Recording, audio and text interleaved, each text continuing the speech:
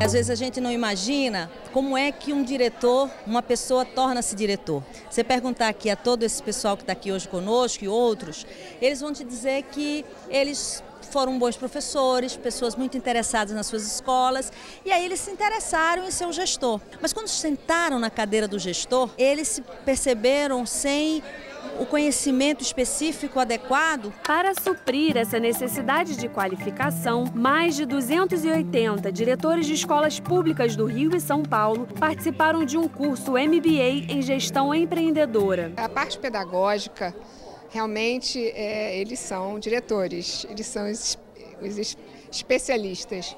Mas na parte de gestão, né, é que a gente é, entendeu que seria a nossa grande contribuição. O sistema Firjan, através do SESI, é, e a parceria com a UF vem contribuir. Com o aprendizado que a gente recebeu aqui nesse curso, a gente pôde perceber que a gente tem força e elementos para aplicar soluções criativas para os problemas do dia a dia da nossa escola. Né? This is the right time to change. Essa é a hora certa para melhorar a educação.